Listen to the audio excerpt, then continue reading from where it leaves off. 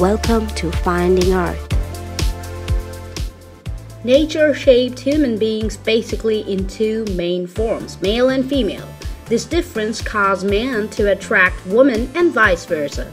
There is always a common argument between male and female on many issues. There are in fact few differences between these two and today I will talk about difference in male and female brain. The male brain is typically about 10% larger than the female brain. Many men are sharply left brain dominant, while women tend to be more evenly balanced between left and right brain processing. Women are therefore thought to be slightly more intuitive and sometimes better communicators. Women are purported to have better communication skills and emotional intelligence than men, thus better in maintaining relationship.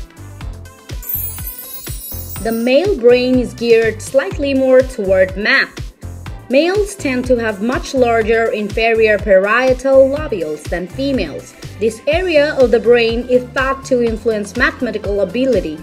The brain areas that are thought to control math and geometry skills mature in boys about 4 years earlier than in girls. When faced with stressful situations, men usually employ fight or flight tactics while women use a tend or befriend response that is rooted in their natural instincts for caring for their children and establishing strong group bonds. Female brain is geared slightly more toward language. The frontal and temporal areas of the cortex are larger in females than in males. These brain areas are thought to influence language skills. They mature in girls about six years earlier than in boys. Since women tend to have a larger deep limbic system than men, they're more in touch with their feelings and are better at expressing their emotions.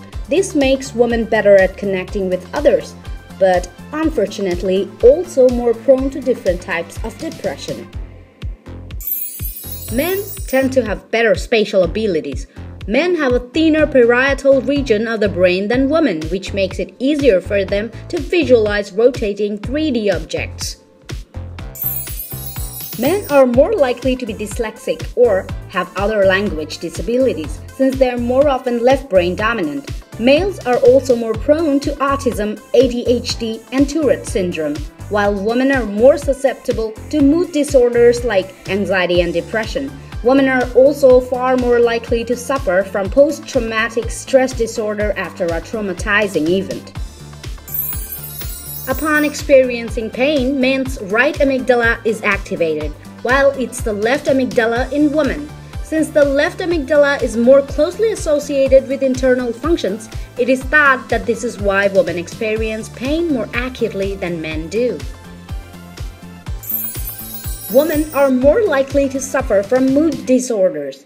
Male brains synthesize serotonin far more quickly than female brains which may explain why women are far more prone to depression.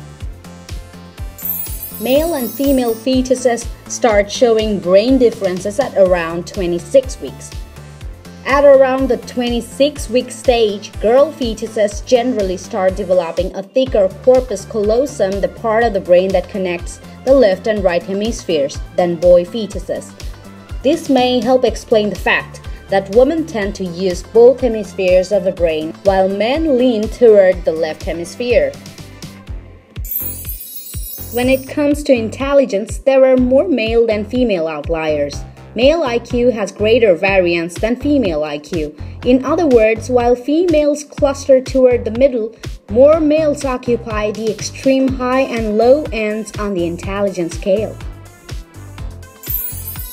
Women handle stress better than men. Both males and females release the hormone oxytocin during stressful events, but female estrogen combines with oxytocin to produce a calming effect, whereas male testosterone only makes men more aggressive. Men have weaker impulse control. The brain areas that control aggression and anger are larger in women than in men, which may account for some degree in larger male rates of violence. Thanks for watching. This is your host, Tracy Gomez. Please subscribe. See you in my next video.